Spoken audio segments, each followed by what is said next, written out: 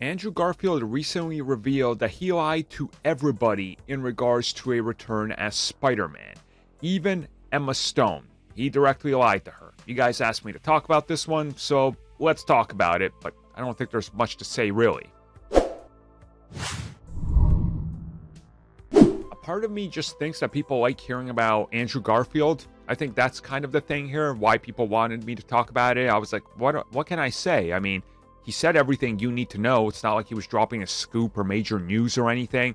Andrew Garfield was in an interview and he was asked, okay, so who knew about it? Did Emma Stone know? Because you guys still keep in contact and everything. You guys were obviously in a relationship back with the first two films. And he said, no, he lied to her as well. She texted him and she would ask him, hey, are you in the new Spider Man? He was like, I, I don't know what you're talking about. I'm not in it. I've seen the things online, but no, I am not in this film. So, yeah, he was lying to her. And again, I've justified his lying before. He was trying to keep a secret and didn't want anything out. I'm not saying that he should just outright lie to everybody, as some people were saying in the other video where I said he made the right choice, because obviously everybody tries to strawman argument people if they don't agree with them. What I'm saying is he signed a giant NDA and the secrecy of everything, and well, you know, everything depended on the secrecy. So he made the correct choice. And he didn't even tell her. I mean, it's exactly what you're supposed to do. If you say, I won't tell a single soul other than the people that know, well, then you don't tell a single soul other than the people that know. So I agree with him there. You know, um, I think he made a correct choice.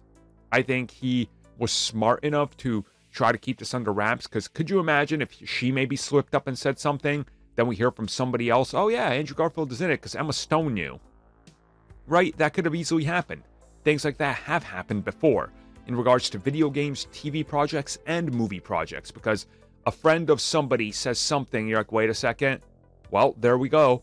I mean, that's a thing. I think this is actually how we learned about Ben Affleck possibly being cast as Batman.